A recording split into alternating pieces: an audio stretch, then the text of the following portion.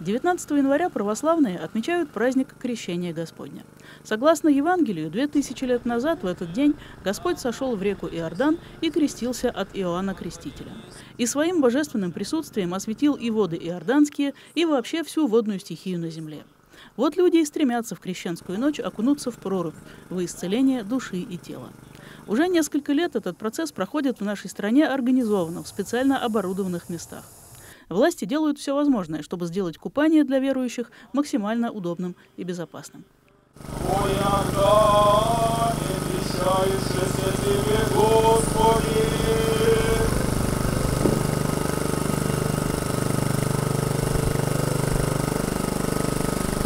В этом году на территории городского округа Щелково было оборудовано 11 купелей. Центральная на Клязьме в городском парке.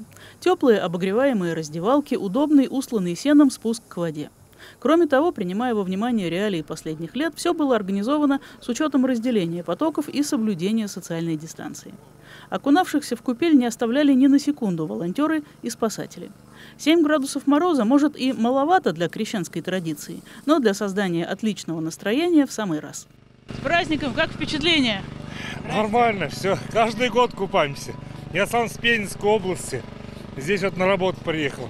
Великолепно. Ощущение вообще отличное. Спасибо. Проверить, как проходят крещенские купания и поздравить верующих с праздником приехал глава городского округа Андрей Булгаков. Искупалась.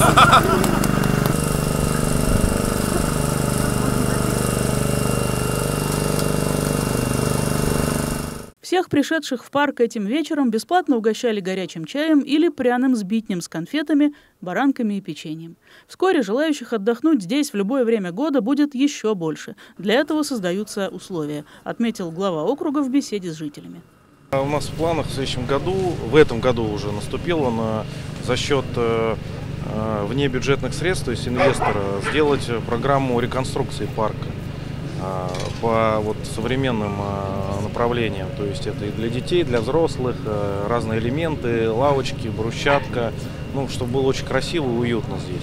Старинный обряд, традиция или определенная дань моде. Каждый сам определяет для себя суть праздника крещения. Главное, что он объединяет людей и желающих в крещенскую ночь искупаться в ледяной купели с каждым годом меньше не становится.